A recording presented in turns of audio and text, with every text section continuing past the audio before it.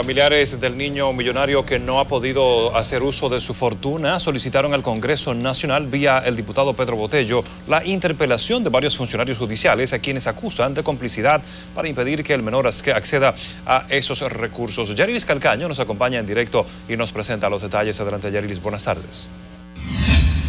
Hola, ¿qué tal? Muchísimas gracias y muy buenas tardes. Ciertamente la interpelación es solicitada puntualmente contra la Procuradora para Asuntos de Niños, Niñas y Adolescentes, Marisol Tobal, el gobernador por la romana Teodoro Ursino Reyes y el propio presidente de la Suprema Corte de Justicia, Mariano Germán Mejía, pues los abogados del menor aseguran que un hijo de este está involucrado en el caso que envuelve una fortuna de más de 200 millones de euros. Queremos interpelar o investigar al doctor Mariano Germán, juez presidente de la Suprema Corte de Justicia, específicamente para investigarlo, toda vez que el hijo de él, Pavel Germán, fue el primero que estuvo aliado con el doctor Juan Alfredo Ávila Guílamo a los fines de que el niño pierda su fortuna y un recurso de casación que es inadmisible, duró tres años y medio en la Suprema Corte de Justicia por ayuda de Mariano Germán.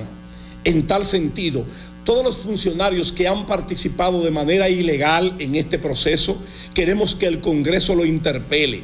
Además, en esta red de mafiosos se encuentra Juan Enrique Huílamo Santana, que quiso ser tutor del menor, y el doctor Juan Alfredo Ávila Huílamo. La abuela del menor, Luis Pierre, de apenas 12 años de edad, asegura que el niño debe ser operado de una enfermedad congénita que no ha podido realizarse por falta de recursos.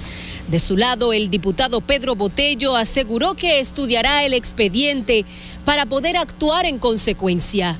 Es decir, que es la vena aorta que se le engrandece, se le pone grande, entonces hay que hacer una operación a él. ¿Y no tiene el mal de Malfam. ¿No tiene dinero para hacer esa operación? Claro que no. ¿Qué costo tiene la operación? Bueno, le voy a decir que ahora mismo no le podría dar el costo completo porque son exámenes que se le hacen cada dos, cada dos veces al año, hay que llevarlo a Francia.